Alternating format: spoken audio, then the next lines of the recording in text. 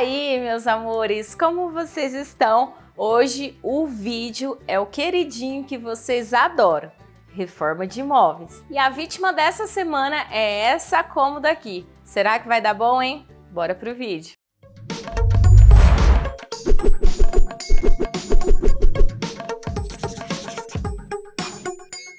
Em um domingo à noite estava eu voltando da igreja e me deparei com essa belezura aqui na frente de uma casa.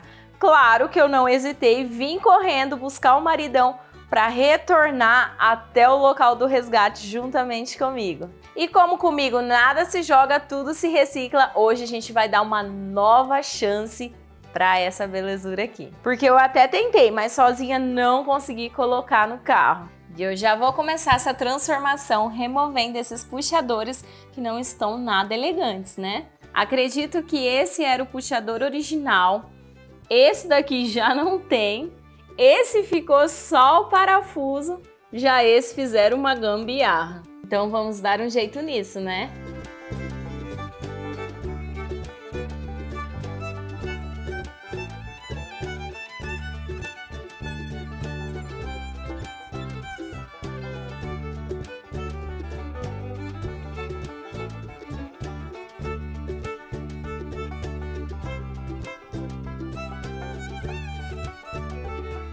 E como todo móvel velho que eu resgato, vem sempre uma surpresa.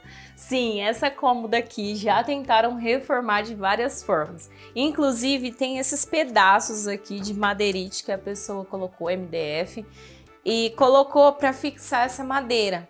Não entendi muito bem o que ele queria fazer, porque ele colocou alguns calços ali do, do outro lado também, mas eu vou ter que remover, identificar como que tá a estrutura dessa cômoda e fazer um reforço.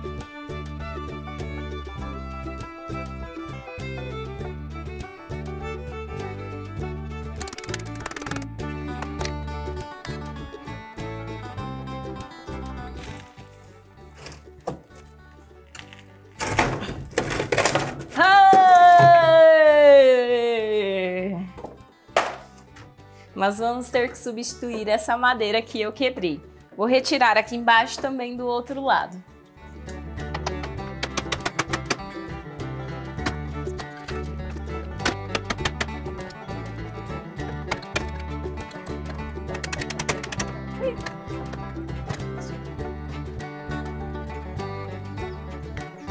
E para substituir as madeiras que faltaram, eu vou colocar essas daqui que eu já tinha aqui, cortei exatamente do mesmo tamanho que era as que quebraram e vejam que ela encaixa perfeitamente aqui, tá? E eu vou fixar no mesmo lugar de onde as outras estavam, porque senão depois as gavetas não fecham. Os outros estão pregados, só que eu vou parafusar, tá? Inclusive eu até escariei um pouquinho aqui para o parafuso entrar bem, para que a gaveta depois não fique pegando na cabeça do parafuso. Esses com prego eu vou até deixar, mas esses que eu removi eu vou colocar parafusos com pontas.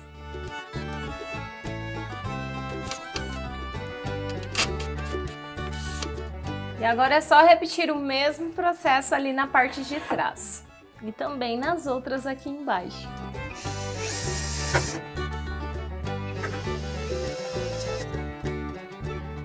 E agora eu vou tapar todos os buracos dessa cômoda e para isso eu vou utilizar a massa para madeira da Tintas Mococa, que é uma linha especializada em madeiras da Tintas Masa.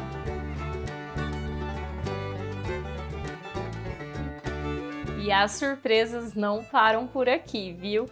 Tinha algumas partes ocas, eu apertei e era casa de cupim. Não encontrei nenhum cupim, porque se eu tivesse encontrado, teria que passar veneno. Como eu não encontrei, vai ser somente tapar esses buracos aqui, o caminho dos cupins com a massa para madeira.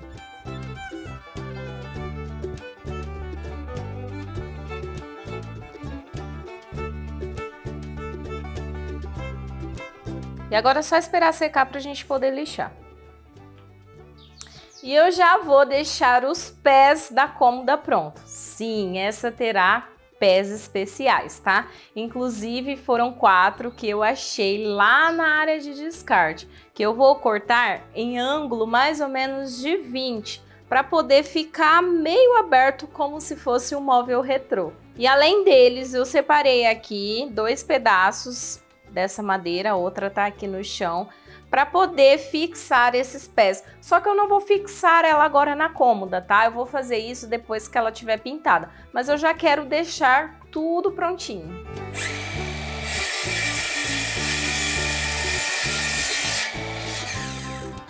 Oi pessoal, meu nome é Jaime, eu sou marido da Daiane e a Daiane teve um compromisso e ela não pôde estar aqui para poder fazer o lixamento dessa peça, então ela me incumbiu dessa tarefa.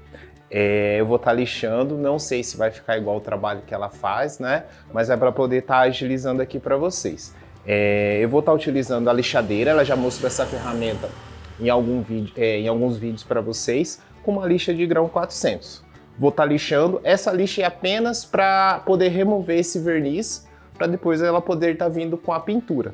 Como eu disse para vocês, não sei se vai ficar igual o trabalho dela, mas é para poder estar tá agilizando esse projeto para vocês e espero que fique bom. Vou estar tá colocando a máscara aqui e bora lixar.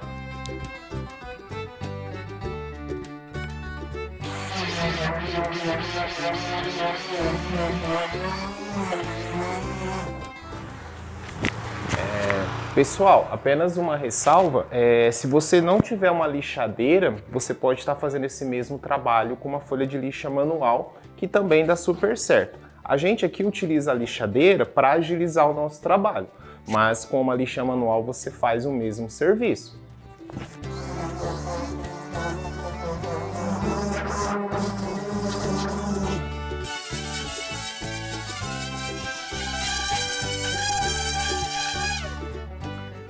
Pessoal, esses são os pés, acho que a Dani já mostrou para vocês.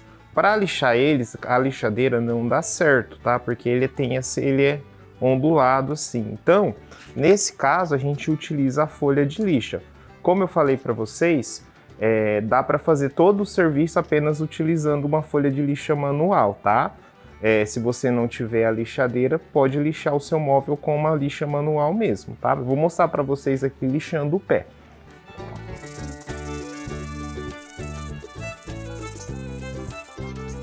Prontinho, pessoal, pé lixado. Agora é só repetir o processo nos outros pés.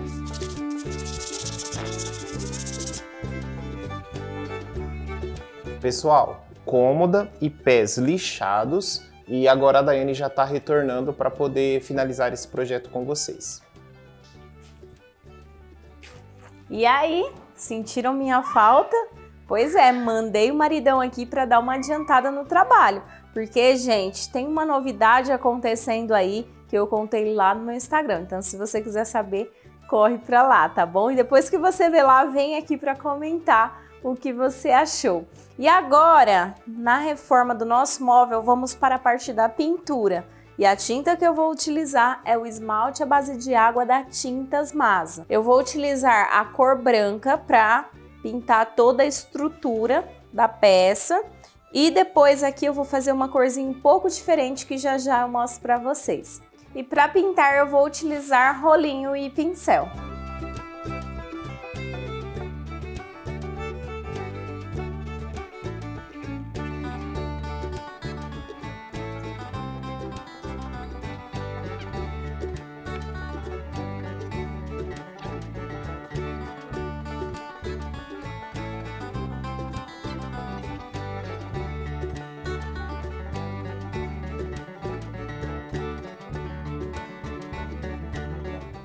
Estrutura da cômoda já seca, foram necessários três demãos de tinta e as gavetas ainda estão secando, tá? E enquanto lá seca, bora preparar os pés da nossa cômoda, os novos pés, na verdade. Eu já mostrei para vocês como que eu fiz, esses daqui foi reutilizado, que eu encontrei na área de descarte, e peguei dois pedaços de madeira.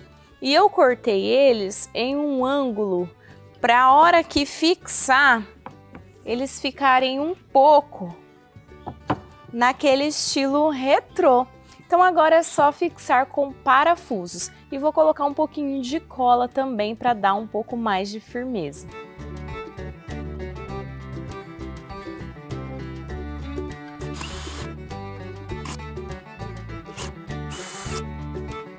Pés montados, essa é a parte da frente e essa é a de trás. Agora, antes de fixar, eu vou fazer a pintura e para isso eu vou utilizar tinta spray Rose Gold da Tintas Masa.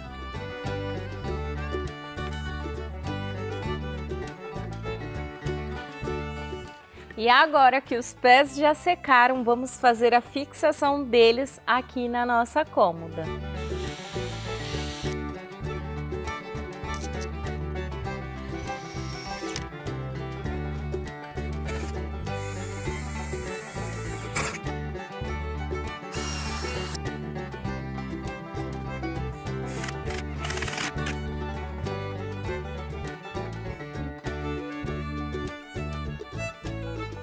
Agora com os pés, essa nova pintura, dá para falar que é aquela mesma peça que eu encontrei jogada lá na rua? Não mesmo, né? Só que ainda falta um toque especial. E claro que esse toque será os novos puxadores. Esse daqui é da Criativa Puxadores, uma fabricante de puxadores que tem um custo excelente. E o modelinho que eu vou utilizar é esse Zamac unifuro e eu vou colocar um de cada lado. E essa cor é o rose gold, que vai super combinar com os pés da nossa cômoda.